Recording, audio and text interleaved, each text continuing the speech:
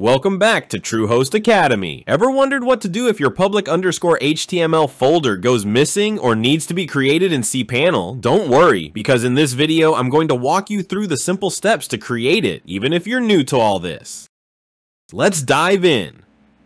So why is the public underscore HTML folder so important? Well, it's the home for all your website's files, the place where everything on your site is stored so visitors can see it. Without it, your site won't be visible online. Now, most hosting providers set it up for you, but sometimes things happen. Maybe it got deleted by accident, or you're migrating your site and it didn't transfer over. Whatever the reason, creating it is super easy, and I'll show you how. First things first, log into your cPanel account. If you're not sure how to do that, that, it's usually something like yourdomain.com slash cpanel comma, and you'll need your username and password to get in. Once you're in, look for the file manager icon. You'll find it under the files section. Just click on that.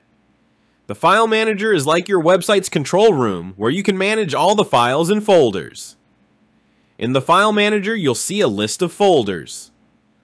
What you're looking for is the home directory, which is often named after your cPanel username. Go ahead and click on that to open it. Alright, here's the fun part. To create the public underscore HTML folder, look up at the top menu in File Manager and click the plus folder button. A little box will pop up asking you to name your new folder. Type in public HTML. Make sure you spell it exactly like that. No spaces, no extra letters, and remember, it's case sensitive. Once you've got that, click the create new folder button. Now that you've created the folder, let's set the permissions to make sure everything works smoothly. Right click on your new public underscore HTML folder, and from the menu, choose change permissions. You want to set this to 755. This means you, as the owner, can read, write, and execute, while everyone else can only read and execute. It's the perfect balance between security and functionality. With your public underscore HTML folder ready to go, it's time to upload your website files.